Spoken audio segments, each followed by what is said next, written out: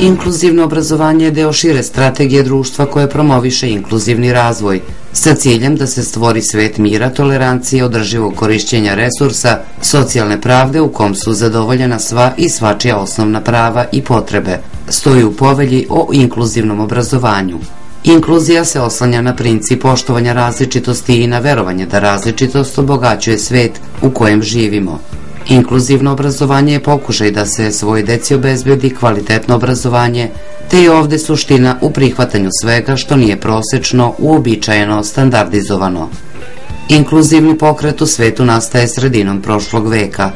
Ključna ideja i usmerenje pokreta na afirmaciju, zastupanje i realizaciju prava na obrazovanje za sve formulisano je još 1948. godine u Univerzalnoj deklaraciji o ljudskim pravima, a zatim i 1989. u Konvenciji o pravima deteta. Kasnije ovaj okvir se razrađuje u drugim dokumentima Ujedinjenih nacija i nizu drugih međunarodnih dokumenata u kojima su formulisane strateške smjernice i standardna pravila. Od 1. septembra 2010. godine započela je primjena mera koje su usmerene na povećanje dostupnosti i jačanje inkluzivnog obrazovanja u svim školama u Srbiji. Centar za interaktivnu pedagogiju iz Beograda sa predškolskom ustanovom Naša radost iz Subotice i predškolskim ustanovama iz Smedereva i Vranja održali su okrugli sto o inkluzivnom obrazovanju i inicijativi Karika koja nedostaje, a koji se odnosi na tranziciju dece sa smetnjama u razvoju iz vrtića u osnovnu školu, kao i iz četvrtog razreda u peti. Gosti okruglog stola su bili i svetski poznati stručnjaci koji se bave ranim razvojem dece i inkluzivnim obrazovanjem. Prilikom njihove posete objektima predškolske ustanove Naša radost visoko je ocenjen dosadašnji napredak ove ustanove na planu inkluzije. And today I had a chance to visit one of your classrooms, which was quite lovely. And what I was so struck by is how welcoming the children were and how kind they were and the kind of atmosphere there was in the classroom. And that's sort of the goal that, that, that everyone feels comfortable with it, not just the child with a disability. Programa još 2000. godine iz jednostavnog razloga što smo smatrali da je važno pronaći puteve i načine kako dopreti do svakog deteta i kako mu omogućiti da se razvija na način koji je prilagođen upravo njemu konkretnom tako kakav jeste. Mi smo uvek imali deca sa smetnjom u razvoju, znači zaista od kada ja radim, mislim da je, da je ta tradicija duga koliko i predškolsko obrazovanje u Subotici. Um, ono što se dešavalo jeste da smo se snalazili kako smo znali i umeli. Zaista i vaspitači, i stručni saradnici i uprava, trudili smo se nekako da izađemo u sused, da pokušamo da pronađemo šta je najbolje za određenu decu i to je nekada dalo dobre rezultate, nekada to išlo malo teže, sve zavisi. Jednostavno je postala potreba da nađemo nešto, jedno čvrsto tle koje će nam biti osnovac da znamo tačno u kom pravcu treba da idemo kada je u pitanju rad sa decom sa smetnjom u razvoju u redovnim vaspitnim grupama. E, naša neka tradicija jeste da su sva deca uključena e, u redovne grupe, znači nemamo razvojnih grupa, e, i nekako prirodno je bilo da počnemo sa realizacijom inkluzivnog programa. 2000. godine došli smo u kontakt sa humanitarnom organizacijom Save Children i eto zajedno smo napravili projekat koji treba dve godine gde smo pronalazili šta ono što je najbolje kada je u pitanju rad sa decom sa smetnjom u razvoju u redovnim grupama e, i tako je krenuo inkluzivno obrazovanje u našoj ustanovi. E, mi smo prošli zaista veliki broj edukacije, nekako se samo počišćavalo e, po pitanju programa šta je dobro i šta je realno stvari u vrtićima i mogu reći da je to, ja mislim, čak i neka osnova za kompletno inkluzivno obrazovanje na nivou Srbije, jer smo mi i edukatori, znači držimo seminare već poslednjih pet godina u celoj Srbiji, kako za vrtići, tako i za škole, I e, sada, pošto je zakonski regulisano 2009. godine inkluzivno obrazovanje, vidimo da je i ministarstvo prepoznalo da je to neki, neki program koji, koji jeste primenljiv i ravno stvari u vrtićima i u školama. E, sam inkluzivni program izaziva različite reakcije, kako u profesionalnim sferama, tako i kod, kod stanovništva. Ono što želim stvarno da istaknem da je inkluzivno obrazovanje u stvari jedan program grada koji omogućava da deca napreduju svojim ritmom. Znači ne samo de, dete sa smetnjim u razvoju, nego svako dete. Jer su svi oni različiti i ovaj program stvari omogućava to neko prilagođavanje. Znači ne radimo sa svima isto, nego prilagodimo naše metode rade upravo konkretnoj deci. Jer počeo od toga da svi različito učimo, različite stilove učenja, pa preko različitih interesovanja, različitih iskustava koje imamo, ne možemo ni očekivati da nešto što prezentujemo na isti način svima bude efektno kod svakog na isti način. Znači, jako je važno da prilagodimo naš rad e, svakom pojedinačnom detetu, a to se radi kroz individualizaciju. Znači, ne znači da ćemo raditi jedan na jedan sa decom, nego ćemo e, omogućiti da učestvuju na različite načine i svako će dete pronaći način koji njemu odgovara u tom momentu da obradimo neku temu koja nam je eto, u tom danu ili u toj nedelji na dnevnom redu i želimo da se time bavimo. E, znači, e, što se tiče inkluzivnog obrazovanja, e, on ne podrazumeva terapeutski rad u vrtiću. On podrazumeva upravo vaspitno-obrazovni rad. Tako da, i mislim da su neki otpori u stvari nastali i zabluda, jer se očekuje, jer neko, možda neki učitelji ili vaspitači misle da se od njih očekuje da rade kao terapeuti, šta ću ja sa tim detetom, ja ne znam ni, ne poznajem dijagnozu i slične stvari. Neka moja poruka bi svakako bila da treba da se opustimo, znači ne radimo mi sa diagnozama, mi radimo sa decom, a i dete sa smetnjim razvoju je dete, tako da, a mislim, kada je u pitanju vaspitno obrazovni rad, da smo mi tu neprikosnoveni. Što se tiče tog nekog terapeutskog rada, e, sva deca sa smetnjom u razvoju su obuhvaćena e, nekim tretmanom individualno, nezavisno od vaspitno obrazovne ustanove u kojoj boravi. Nije loše ako postoji u vrtiću ili školi neki stručnjak koji može individualno da radi, na primjer u našoj ustanovi postoje dva logopeda i oni rade individualno sa decom, ali ne samo sa decom sa smetnjom u razvoju, nego generalno, jer znate i sami da je prečkolski uzrast osetljivi i da ima dosta dece, kojima je potreban logopedski tretman. Tako da, eto, to je nešto što se ovde radi, ali sve ostalo je upućivanje u, kod određenih stručnjaka van naše ustanove i često ih mi uključujemo u naš tim e, koji čini vaspitač, stručni saradnik i roditelj, stručnjaki koji rade individualno sa decom, uključujemo čisto da čujemo kako napreduje, šta oni rade i da oni mogu da vide šta mi radimo, pa da napravimo neku kopču, da to bude jedna, jedna celina koja će dati najbolje e, efekte kada u pitanju dete. E, mi smo uključeni u dva projekta. Jedan projekat je e, 25 ustanova u Srbiji kao primjer dobre prakse, od kojih su e, sedam prečkolskih ustanova, ostalo su škole i mi smo jedna od tih ustanova. E, tu je urađeno nekoliko seminara i ovo, uključivanje ovaj projekat će u suštini moći da mogući možda da konkurišemo da naša ustanova bude model centar, jer zaista mislim da to i zaslužujemo i da imamo vaspitače koji su zaista onako primeri kako možemo da radimo sa različitom decom, a da svi dobro funkcionišemo. E, osim tog projekta, e, projekat Karika koja nedostaje e, je jedan zaista dragocen projekat e, koji se bavi temom koja je malo zastupljena, stvari mislim da još niko nije pokušao da se bavi time, a to je kako napraviti najbezbolniji prelazak dece sa smetnjama u razvoju kroz obrazovne nivove. Znači, iz porodice u vrtić, iz vrtića u prvi razred osnovne škole, iz četvrtog razreda u peti razred osnovne škole, tu se zapaš da postoje tako neke poteškoće i ovaj projekat upravo treba da pokaže primere dobre prakse kako to možemo da radimo na najbezbolniji način e, ne samo za decu smetnjim reda u razvoju, nego i za ostale, a pogotovo za ovo decu su one malo i osetljivi i mislim da je značajna tu velika podrška da se uh, uradi kako za dete, tako i za roditelje. U okviru tog projekta urađeno je nekoliko seminara, evo imali smo gosti iz e, Londona i iz Amerike, to su zaista stručnjaci koji se bave e, ranom stimulacijom razvoja dece.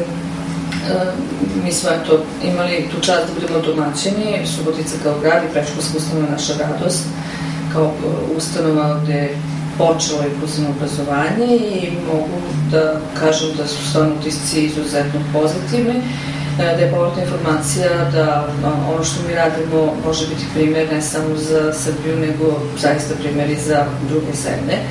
E, čak nekako smo prirodni u organizaciji svega toga. Naravno, uvek postoje poteškoće, ali e, oni su imali prilike da popričaju sa našim vaspitačima i videli su kako mi prelazilazimo te teškoće.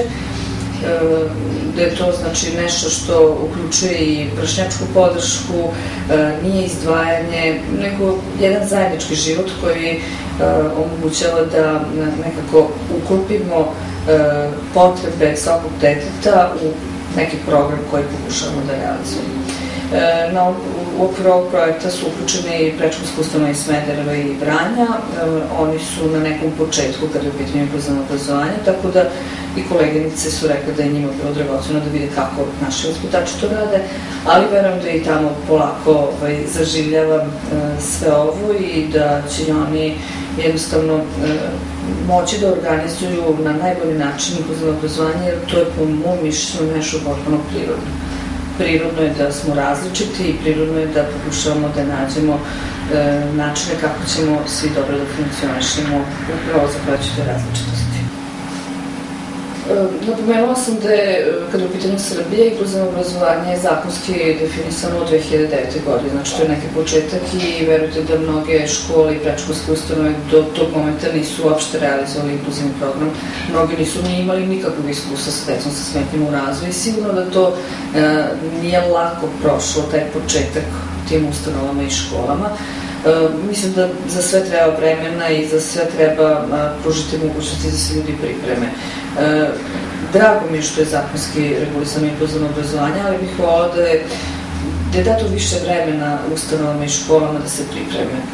E, ne znači da ljudi koji rade u obrazovanju ne znaju to da rade.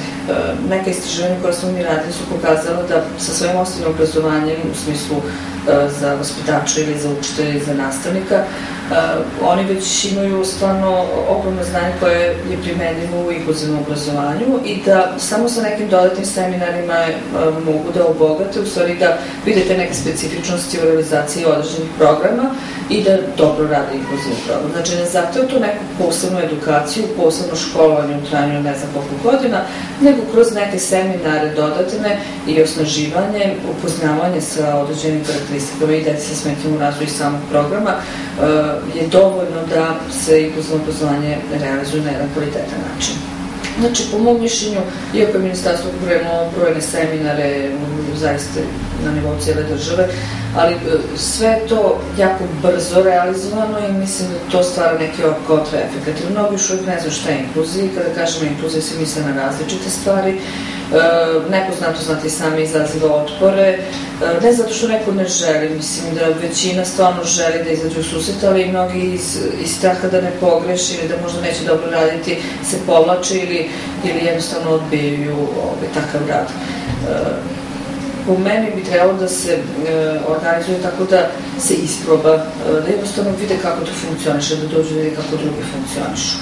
Ono što se dešava jeste da ima, na primjer, prečkolske ustanove u nekim sredinama koja realizuju inkluzivni program i kada dete pređe u školu koja ne realizuje inkluzivno obrazovanje, zaista može da bude e, problem, zato što se stvora otpori, zato što se onda pokušava pronaći e, način kako da to dete ispišu, umesto da vide zajednička, ajde vidimo šta možemo raditi. E, mislim da tu još jedna teškoća jeste upravo u činjenici što E, nekako u školama je uvek bilo nekako fiksirano ono e, na, na ishodima, na uspehu i na ishodima i teško je sada, iako zakon omogućava da vi ocenujete dete u skladu sa njegovim postignućima, e, teško se izmestiti i verujem da treba malo vremena učiteljima i nastavnicima da shvate da dete koje ne zna sva slova može dobiti peticu jer radi po svom individualnom obrazovnom planu koji kaže on sada treba da u roku, ne znam, tri meseca nauči, ne znam, pet slova da napiše i još definišemo koja slova i ako on to uradi, on je zaslužio peticu jer on je uspešno uradio svoj zadatak. Ne treba da gledamo e, uspešnost na nivou sve, sve dece, celog odeljenja, nego uspešnost na nivou njega samog. To je bilo dobro i ja bih jako volao kad bi se ocenjivalo tako i za ostalu decu, jer mislim da neka poređenja samo dovode do stvaranja prosečnog deteta, a prosečno dete ne postoji. Šta je to prosečno dete? Jednostavno, dešava se da neko decu koje su uspešnije učemo dole, jer, bože moj, ne možemo mi sad to da ispratimo, a ono koje ne mogu da postavimo učemo, možemo silnu energiju da bi ono postiglo neki prosek, ne postoji prosečno dete. Normalno je biti različit, drugačiji, interesantan, Zbog toga nisi manje vredan jer ti si samo drugačiji od drugih. Različitost znači heterogenost u koju želimo uspešno integrisati dete, a za to je neophodno imati kontakt samo onoliko koliko želimo da uputimo ili da damo drugom detetu. Na taj način očekuje se uklanjanje diskriminacije po bilo kom osnovu, a rezultat je prihvatanje svih različitosti smatram da je inkluzivno obrazovanje nešto prirodno i nešto što je neophodno. Zašto bi neko bio taj koji bi odredio da neko može, a neko ne može da bude uključen u svoju zajednicu?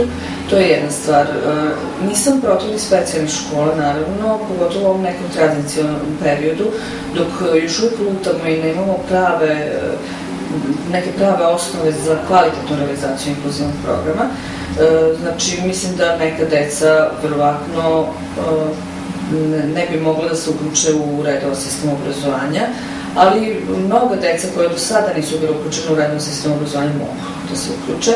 I evo ovo je prilika da se upravo to i radi, da se krene sa uh, decom koje možda imaju uh, poteškoće manjeg intenziteta, uh, čisto da se ispita, da se isprobi, da se vidi ta uspešnost, jer jedno istraživanje koje sam ja radila ovaj, upravo e, po pitanju stavova e, vaspitača e, vezano za inkluzivni program je pokazalo da u, pozitivnom smeru se poboljšavaju stavovi vaspitača ako imaju dobro isklopu ako znaju kao upravo šta je, znači dobro su informisani, postoji kontinuirano obrazovanje, obrazovanje ili ajde, podrška kroz razne seminare, i ukoliko sami realizuju inkluzivni program i vide efekt tog programa. Znači, to su neke ključne stvari koje će doprineti e, menjanju stavova vaspitača u pozitivnom smeru. To treba iskoristiti i treba omogućiti ljudima da, da to uživo vide i da osjeti kako je, naravno uz dobru podršku. E, ono što sam htela još da kažem je da inkluzivno obrazovanje nije samo namenjeno deci sa smetnjom razvoju, nego svakom detetu, to sam već i rekla, e, u smislu šta su sad neki efekti. E, što se tiče deteta sa smetnjom u razvoju, efekti već samo uključivanju u vršnjačku zajednicu i naravno e, napredovanje nekim svojim ritmom. A što se tiče ostale dece, oni se uče e, prihvatanju različitosti, oni razvijaju altruističke e, tendencije u sebi, znači meni se potpuno način gledanja situacije i realnosti oko sebe. Ako vi imate iskustvo da nekome znači da upružite ruku da bi mogao bilo šta da uradi, i vidite efekt toga, onda ćete vi sigurno uh, u većoj meri to uh, podržavati i raditi, nego ako vi nemate tako iskustvo, nekako mislim da se razvija ta nesebičnost i želja za nekim zajedničkim radom. Manje takmičarskih aktivnosti, a više timskih aktivnosti mislim da se razvije kod njih neke pozitivne ljudske vrednosti, a ono što je još jedan posledan efekt jeste, bar to naše iskustvo pokazuje, da deca samo su prenosila roditeljima tako neke pozitivne stvari od deci koje imaju određene poteškoće i nekako su roditelji preko svoje dece menjali svoje stave. Videli su da je to kao prvo dobro za njihovo dete, da je dobro za dete sa smetnjom u razvoju. Upoznali su kako to može dobro da funkcioniše. Više nemamo one strahove kada vidimo uh, dete ili osobu koja je drugačija od nas, da prosto ne znamo da li da gledamo ili da ne gledamo, neprijatno se osjećamo, nego jednostavno znamo kako da, da se ponašamo i da prihvatimo da je to u redu, da smo mi različiti. Ne treba da e, oko nas, u našem svetu, u našem okruženju vidimo samo sebe, nego da vidimo i druge.